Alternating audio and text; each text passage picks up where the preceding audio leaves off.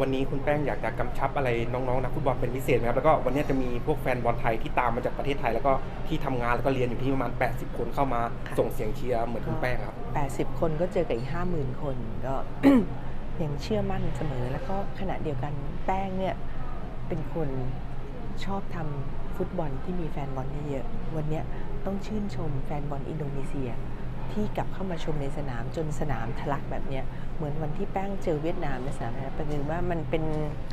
ฟุตบอลมันเป็นกีฬามหาชน เป็นกีฬากีทีมเวิร์กแล้วก็กีฬาใจ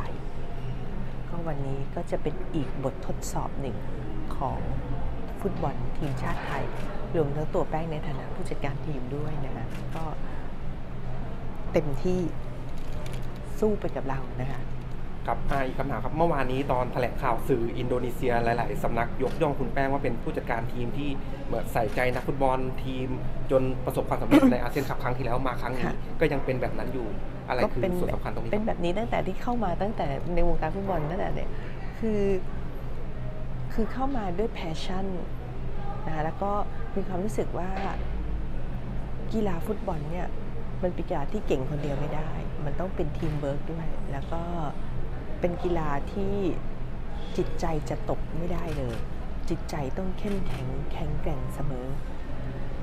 อะไรที่ทำให้แป้งยืนได้จุดนี้นะคะเพราะว่าแป้งเชื่อว่าแป้งมีความอินมากตั้งใจจริงมากที่แป้งเสียงหมดเนี่ยเพราะว่าจริงๆแป้งเริ่มป่วยเรื่องเสียงตั้งแต่ตอนที่แป้งไปเเชียร์ซีเกมที่เวียดนามนะคะแล้วก็แป้งเป็นคนที่รับฟังคำติชมข้อเสนอแนะ ของทุกคนเสมอ แล้วก็พร้อมที่จะเอามาถ่ายทอดให้กับนักฟุตบอลและถ่ายทอดให้ตัวเอง แล้วก็สตาฟโค้ชฟังวันนี้ก็จะเป็นบทพิสูจน์อีกครั้งหนึ่ง แล้วก็แป้งยังต้องขอขอบคุณนะคะ เจ้าของ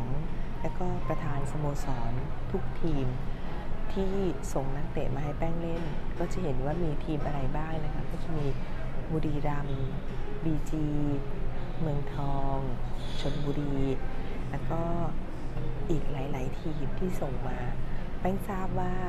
ไม่ใช่ฟีฟ่าเดย์แต่ว่าในที่สุดเนี่ยแป้งเชื่อว่าดีใจมากที่มีถ่ายทอดมือที่ถ่ายทอดช่องอะไรนะคะอ่าช่องเก้าครับช่อง9ฝากดูช่อง9 M p o t ด้วย ขอบคุณกองสลาก plus ขอบคุณจริง ๆ ที่ทำให้คนไทยได้ดูทางทีวี เชื่อว่าถ้าชนะ มันก็จะเรียกศรัทธาได้และมันอยู่ในช่วงข้ามปีใหม่ ครับอีกคำถามสุดท้ายครับคุณแป้งวันนี้ 1 ปีที่แล้วเมื่อปีที่แล้วครับเราชนะอินโดนีเซีย 4-0 ในเกมรอบชิงชนะเลิศนัดแรก จะประคุณขอให้มิเดเคิลมีจริงได้ชนะอย่างนั้นอีกเลยนะคะ มันยากนะคะวันนั้นเราเล่นในประเทศกลางเราเล่นในสิงคโปร์นะคะวันนี้เราเล่นอยู่ที่จาการ์ตาสนามเสนายัน อยากให้เป็นเหมือนเดิมก็สู้จนยันสุดสุดนะคะ เชียร์ท่าไทยไปกับหลังนะคะโอเคครับ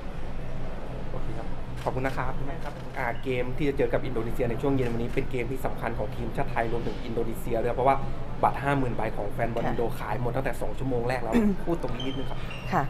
สำหรับแป้งนะคะ ผู้ซึ่งเป็นที่ทำบอลมาเป็นเวลา 16 ปีเนี่ยนัดนี้ถือว่าเป็นนัดที่มีความสำคัญมาก แล้วก็ต้องยอมรับเมื่อคืนมาถึงเลทมากติดภารกิจนะก็แล้วก็เป็นตอนนี้เป็นกล่องเสียงอักเสบเนี่ย ตื่นเต้นมาก แล้วก็คิดว่าเกมนี้น่าจะเป็นเกมที่ยากที่สุดของรอบแรก เพราะเป็นเกมที่มาเยือนอินโดนีเซีย แต่ก็อย่าลืมนะคะว่าอินโดนีเซียในวันนี้เป็นทีมที่แข็งแกร่งมาก อายุเฉลี่ยของทีมอินโดนีเซียเนี่ย 24 กว่าเองในขณะที่อายุเฉลี่ยของไทยเนี่ย 28 กว่า แล้วก็ผู้เล่นอินโดนีเซียเนี่ยมีที่มาจาก AFF มาจากการแข่งขันแมตช์ที่แล้วเนี่ยอาเซียนคัพคัพที่แล้วเนี่ยมีผู้เล่น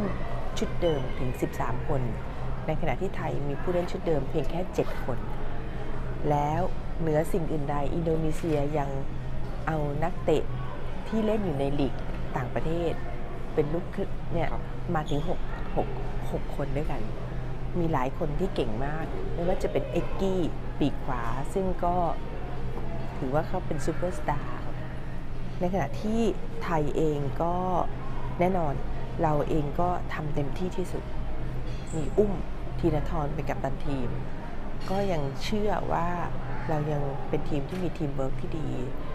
วันนี้เราเล่นในสนามเซนายันซึ่เป็นสนามที่ศักดิ์สิทธิ์ของอินโดนีเซีย ผู้เล่นอินโดนีเซียเนี่ยเข้ามาชมถึง 50,000 คนสำหรับแป้งนะเป็นเกมที่กดดันแน่นอน แป้งเคยผ่านเกมอย่างนี้ครั้งหนึ่งที่ถึง 2 ครั้งในชีวิตก็คือเกมที่ 3 ครั้ง คือเกมที่ไปเล่น 4 เกมตอนทำฟุตบอลหญิง ที่มนาเลย์แล้วก็เกมที่ไปเล่นตัดเชือกกับเวียดนาม เพื่อชิงตั๋วใบที่ 5 ไปบอลโลกที่โฮจิมินห์แล้วก็วันนี้เป็นอีกเกมหนึ่งที่ต้องยอมรับว่าในฐานะที่เป็นผู้จัดการทีมชาติไทยฟุตบอลชายเนี่ยเป็นเกมที่หนักใจจนนอนไม่หลับ แล้วก็อยากได้ชัยชนะชนะหรือเปล่าเนี่ยก็อยู่ในเกม 90 นาทีในสนาม ถ้าชนะก็ถือว่าก็จะเป็นการส่งความสุข ในวันที่ 29 ไว้ก่อน ก็ขอให้พี่น้องแฟนบอลชาวไทย เชียร์พวกเราด้วยแป้งทราบเสมอนะคะว่าศรัทธาของฟุตบอลทั่วโลกจะเกิดขึ้นได้ก็เกิดจากผลงานของทีมชาติ วันนี้พวกเราในฐานะที่แป้งเป็นผู้จัดการทีมจะทำให้ดีที่สุด เพื่อที่จะเรียกศรัทธา passion ซึ่งเป็นสิ่งที่สำคัญที่สุดในชีวิตแป้งในการทำฟุตบอลมาและแป้งนี่เป็นคนที่รักบอลไทยมาก